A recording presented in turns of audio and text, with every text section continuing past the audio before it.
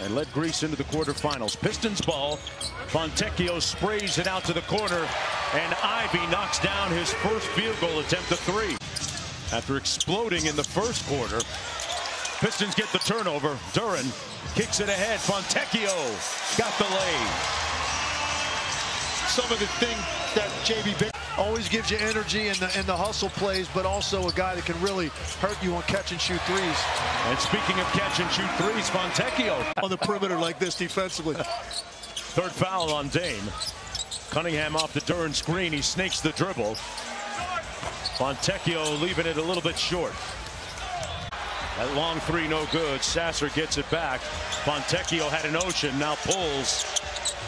He left it short. Yeah, the first one was a better look. Some Fontecchio got tied up a second time. Good defense by Milwaukee.